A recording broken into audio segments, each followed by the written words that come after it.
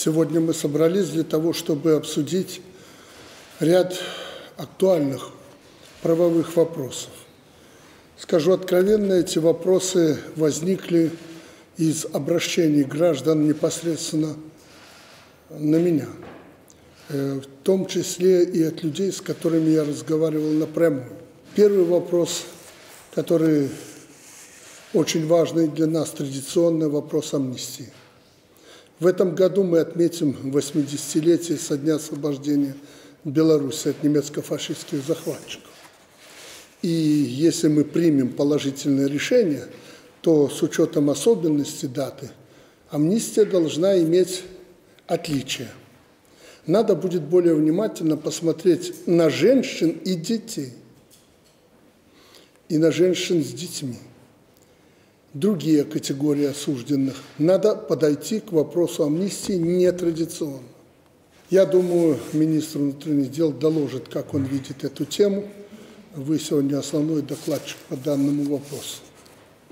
Понятно, что и в парламенте законопроект также обсудят, проанализируют со всех сторон, тем более работать предстоит новому составу, людям со свежим взглядом, идеями, но надо учитывать и криминогенную ситуацию в обществе.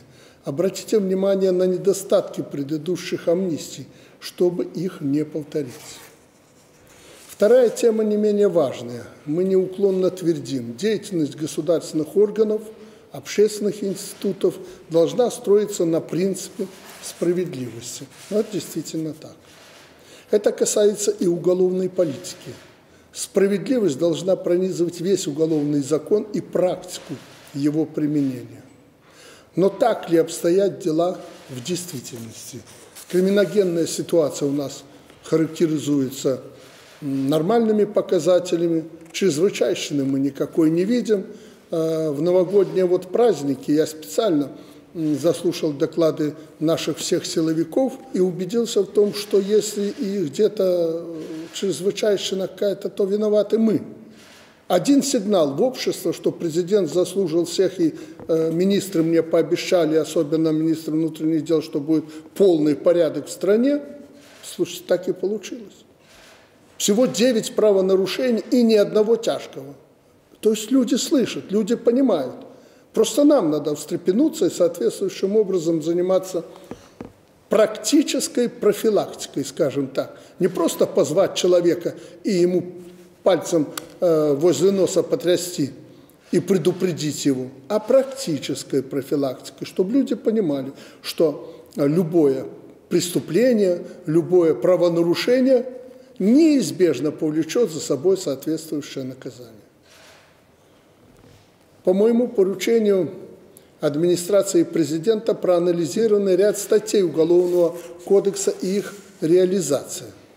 Возникают вопросы в связи с этим посмотреть на процесс, кого мы задерживаем, кого осуждаем, соответствуют ли назначенные меры наказания тяжести преступлений и той опасности, которую представляют эти люди для общества. Конкретно по-народному скажу, нам быть более осторожными при вынесении э, наказаний, особенно в суде.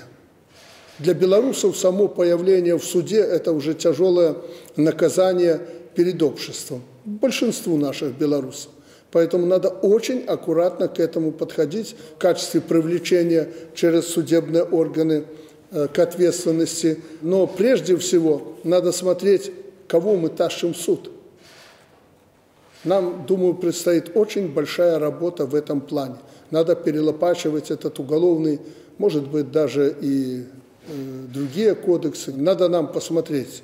Э, тем более я говорю, что ситуация в стране характеризуется э, нормально в плане правонарушений. Поэтому надо на это идти. Хотя должен сказать, что из 40 э, с лишним тысяч мест, которые мы имеем по вашей информации, в соответствующих местах заполнена только половина. И все время этот э, процент уменьшается. Это хорошая тенденция. Но на что нам надо обращать больше внимания? На занятость населения. Если даже мы идем на амнистию, помиловали человека, он обязательно должен работать, он обязательно должен трудоустроиться. Но для этого мы должны контролировать этих людей Но это работа, которую порой соответствующие органы делать не хотят, а надо. У нас немало людей не работающих, а некоторые стонут, что им два десятка людей на предприятии не хватает. Но к этому вопросу мы плотную подойдем э, в будущем году. Не единожды принимали решение, но ВОЗ и ныне там, на отдельных территориях. Поэтому я хочу, чтобы меня услышали соответствующие руководители районов и городов. Они-то точно там знают, кто у них работает, а кто нет. Если люди будут заняты, у нас еще на порядок меньше будет преступлений. И преступники ведь разные. Одни матерые, закоренелые рецидивисты, другие случайно оступившиеся. Вопрос, учитываем ли мы это в правоприменении? Всегда ли Уголовный кодекс дает вам возможность индивидуализировать наказание? Это уже вопрос к судьям. Знаю, что мнения у присутствующих здесь руководителей правоохранительных и судебных органов расходятся. Ну и хорошо, будем обсуждать, есть что обсуждать. Думаю, что председатель Верховного суда конкретнее обозначит проблематику, а мы совместно обсудим подходы к дальнейшему совершенствованию уголовного законодательства. Предлагаю перейти к рассмотрению, ну а потом соответствующие лица доложат журналистам, какие конкретно рассматривались проблемы и вопросы, и какие решения приняты. Пожалуйста.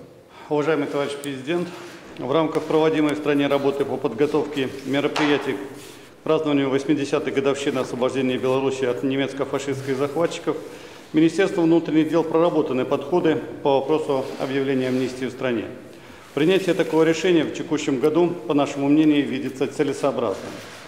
Амнистия затрагивает интересы не только осужденных, но и их родственников. Некоторые из них являются ветеранами войны и труда, людьми престарелого возраста, которые нуждаются в посторонней помощи и уходе. На сегодняшний день прогноз развития криминогенной обстановки в республике не вызывает серьезных опасений. Необходимо отметить, что применение акта амнистии в 2022 году, который мы проанализировали, не оказало существенного негативного влияния на состояние правопорядка в нашей стране. Так из пяти с половиной тысяч амнистированных лиц вновь совершили преступления около 4%. Принятие амнистии имеет социальную направленность и, кроме этого, экономическую целесообразность.